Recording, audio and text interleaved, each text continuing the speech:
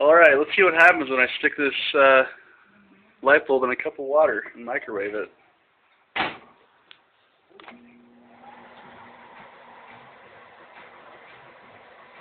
Yeah, there we go. Let's light up the city.